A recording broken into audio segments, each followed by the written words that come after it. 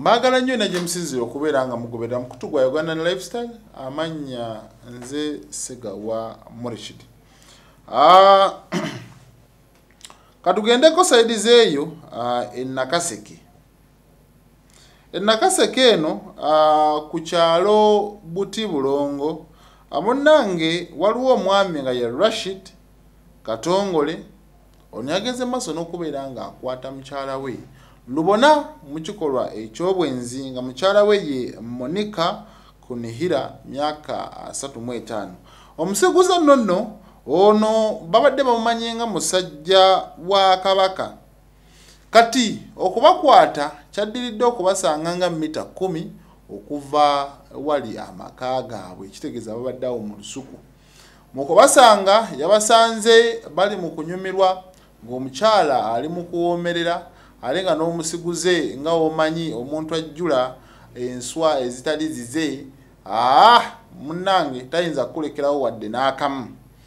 Yafunye obusungu era kwe kusalawo okutandika okulwanagana n'omusiguzi ono. Mu kulwanagana naye oli yamusinziza amaanyi kuba kitegedde nti yali mu nsobi era neyeesimattula n'adduka.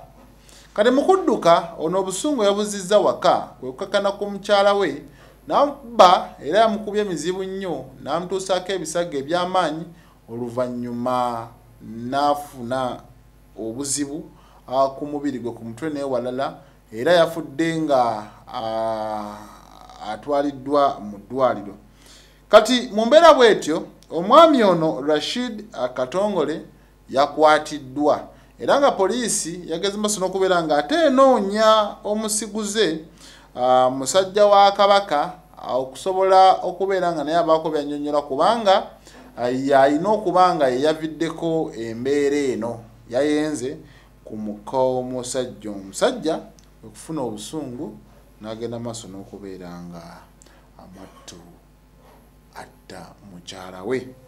Kale ah, kitalo nnyo eh, munnamawulire munnaffe eh, gwe tukola naye omulimu gwe gumu newankubadde yakolera eri ah, ku bbs ahmed uh, sennabulya myaka ana mu ena kitalo nnyo yafudde olunaku lwabadde lwajjo era nga yabadde ku pikipiki ye.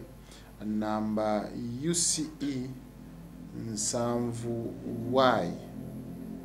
Kale zaadde saa bbiri ez'okumakya ekimotoka ekya fuso namba uba lusanvu ataano mu bbiri t kyabadde kiva e masaka nga kidda e kampala kyagenza maaso n'okubeera nga kimutomera era asobodde okubeera nga asimattuka. Yaziikiddwa kitalo nnyo kitalo ddala. Byabadde olunaku lwajjo oyo yabadde inginiya awo ku bbs telefayina kibi nnyo kibi ddala. Nze segawa mureshid